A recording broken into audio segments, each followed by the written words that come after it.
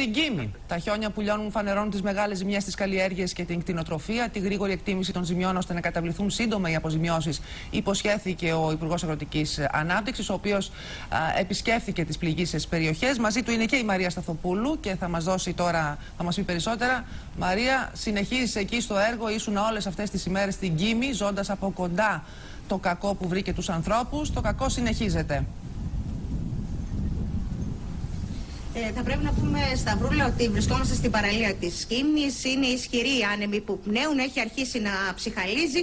Τα χιόνια άρχισαν να λιώνουν και φαίνεται το μέγεθος της καταστροφής. Ε, πίσω μου βλέπετε έχει πέσει ένα στέγαστρο ε, σπιτιού, ενώ και πολλά στέγαστρα έχουν πέσει εδώ στα, σε επιχειρήσεις στην ε, παραλία της ε, Κίμης.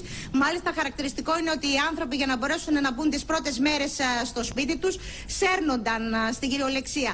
Να σημειώσουμε ότι μεγάλες, όπως μας είπε ο Δήμος, αύριο θα αρχίσει η καταγραφή των ζημιών σε επιχειρήσεις αλλά και σπίτια. Μεγάλες όμως είναι οι καταστροφές σε φυτικό και ζωικό κεφάλαιο αλλά και οι υποδομές. Ε, ελαιόλοδρα έχουν ε, λυγίσει από το βάρος του χιονιού ενώ οι κτηνοτρόφοι βρίσκονται σε απόγνωση και αυτό γιατί ε, έχουν χάσει πάρα πολλά ζώα τους. Μάλιστα χθες απεγκλωβίστηκαν οι τελευταίοι κτηνοτρόφοι από την περιοχή Βίταλο. Αρνούνταν επί 11 ημέρες να εγκαταλείψουν τα μαντριά τους και να εγκαταλείψουν τα ζώα τους. Ε, θα πρέπει να σημειώσουμε ότι χαρακτηριστικά μας έλεγε ένας α, κτηνοτρόφος ότι για να πάει από το σπίτι του στο Μαντρί, μια απόσταση δηλαδή 100 μέτρων, ε, φτιάριζε επί δύο ολόκληρες ημέρες. Να σημειώσουμε ότι ο Υπουργός Αγροτικής ε, Ανάπτυξης επισήμανε στους κτηνοτρόφους που συνομίλησε μαζί τους στην περιοχή Βίταλο ότι άμεσα θα ξεκινήσουν από τον ε, ΕΛΓΑ οι εκτιμήσεις. Ε, μάλιστα έχει ξεκινήσει και η διαδικασία πρόσληψης έκτακτου προσωπικού για να ολοκληρωθούν το συντομότερο δυνατό.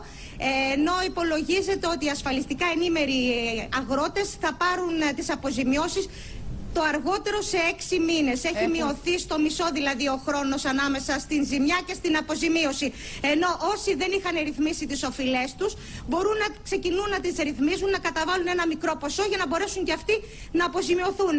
Τώρα για τις ζημιές που δεν καλύπτονται από τον ε, ΕΛΓΑ θα συνταχθεί φάκελος ψέα, ο οποίος θα υποβληθεί στην ε, Ευρωπαϊκή Επιτροπή.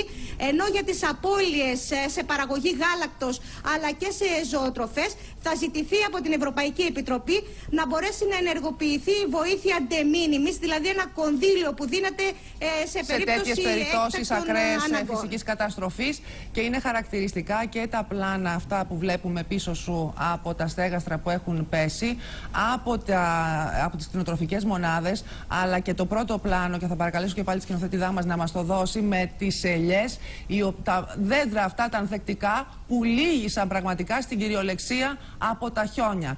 Έχουν διπλώσει στα Αν δύο. Αν σκεφτεί κανείς ότι το ύψος του χιονιού ξεπερνούσε τα δύο μέτρα. Έτσι ακριβώς. Λοιπόν, να ακούσουμε τι λέει ο Υπουργός, τι λένε και οι κτηνοτρόφοι.